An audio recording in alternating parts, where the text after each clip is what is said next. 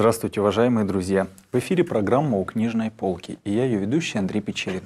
Автор книги, которую сегодня мы предлагаем вашему вниманию, генерал Петр Николаевич Краснов. Он вошел в историю России прежде всего как доблестный воин, один из лидеров белого движения, а также как военный историк и писатель. Литературное творчество Краснова многообразно – Однако в наше время оно почти неизвестно русскому читателю.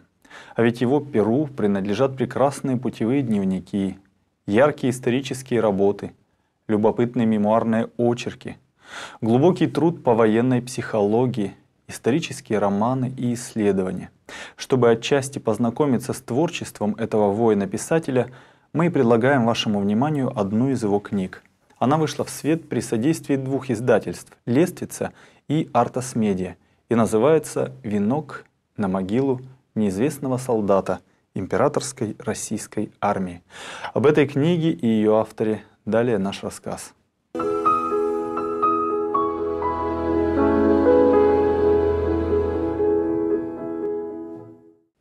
Петр Николаевич Краснов родился 12 июля 1869 года в городе Санкт-Петербурге в старинной казачьей семье. В 11 лет он поступил в первую петербургскую гимназию, а в пятом классе по личному желанию перевелся в аналогичный класс Александровского кадетского корпуса. Окончил его вице-унтер-офицером и поступил в Павловское военное училище. В августе 1889 года был выпущен Харунжем в комплект донских казачьих полков с прикомандированием к лейб-гвардии атаманскому полку, в который вскоре и был зачислен. По высочайшему повелению в 1897 году был начальником конвоя российской императорской миссии в Адис-Абебе. В 1901 году командирован военным министром на Дальний Восток для изучения быта Маньчжурии, Китая, Японии и Индии. Февральскую революцию Краснов, уже будучи генералом, принял как роковую неизбежность и, как большинство военных, последовал призыву государя Николая II подчиниться Временному правительству для завершения войны. А после Октябрьского переворота он получил от Керенского приказ вести на личный состав корпуса всего 700 казаков – на освобождение Петрограда от красных. Но этих слабых сил оказалось недостаточно. В результате Керенский бежал, а генерал Краснов был взят под домашний арест, откуда спустя несколько дней бежал, воспользовавшись документами от Донского казачьего комитета. Краснов тогда отправился на Дон, где скрывался в станице Константиновской. 3 мая 1918 года в разгар общедонского восстания круг спасения Дона избрал его донским атаманом. Однако уже 2 февраля 19 года генерал Краснов отказался от должности атамана и вскоре покинул Россию. Помимо боевой славы, Краснов известен как боевой писатель, сотрудник военных изданий составитель военных очерков, памяток и руководств. Его исторические романы и повести создали ему славу писателя, и его романы переведены на 17 иностранных языков. Имея наследственные способности к литературе, Краснов с 12 лет начал писать детские рассказы в своем журнале «Юность». Издавал его в нескольких экземплярах и всю работу выполнял один. Сам писал, сам набирал и печатал текст.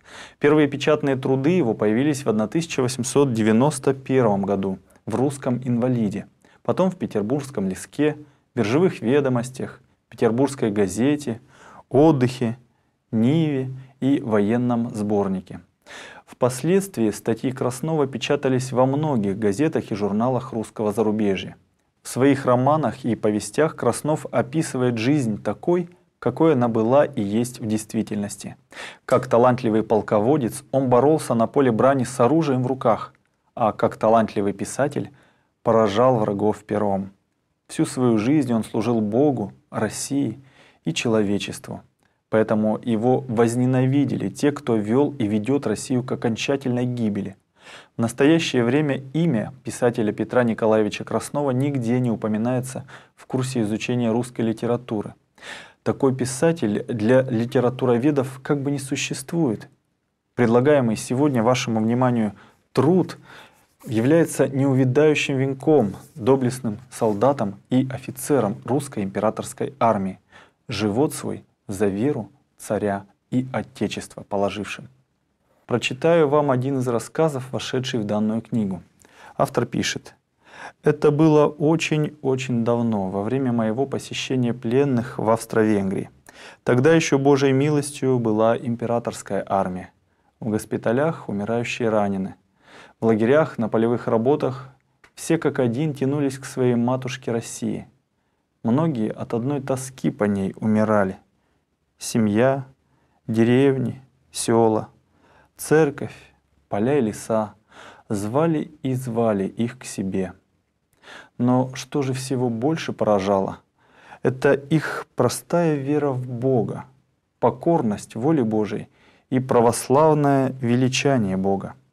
Сквозь весь этот мир чувств, страданий и молитвы сиял для них тихий образ царя-батюшки – все для них начиналось и кончалось им. Он был их отец. Везде.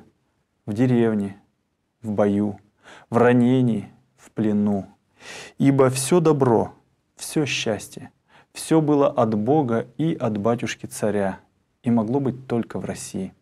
В одном громадном здании, устроенном для лазарета, лежало много раненых, умирающих, выздоравливающих, собрали всех работающих пленных в этом городе. Сердце было залито их слезами, страданием, тоской и верой в Бога. Казалось, от этого исповедания земля соединилась с небом в сердце человека. Обход кончался, стемнело. Кто-то подошел ко мне попросить начальства разрешить спеть. Хотим спеть вам все, что чувствуем, себя и вас утешить на прощание. Где-то задали тон, его передали по коридорам, палатам, лестницам. Все замерло. И вдруг где-то, где-то далеко, пронизывая и побеждая собой все, один чистый голос канонарха зазвенел. «С нами Бог, разумейте языцы и покоряйтесь». И еле-еле слышно, все расширяясь, дивный хор запел – яко с нами Бог». Из другой палаты прозвучал малиновый голос канонарха «Услышите до последних земли!» А хор, как ангельские крылья, все выше и выше поднимал эти слова великого повечерия. Спустилось на землю благословенное молчание. Никто уже не мог говорить. Все безмолвно толпились у выхода, как вдруг это море людей упало на колени и запело «Боже, царя храни!» Рыдание перебивало пение. В плену было запрещено петь гимн. За это строго наказывали. Но любовь и верность смели все законы войны. Австрийское начальство сняло головные уборы. Они вытянулись и стояли смирно. Склонились невидимые знамена перед великим признанием России.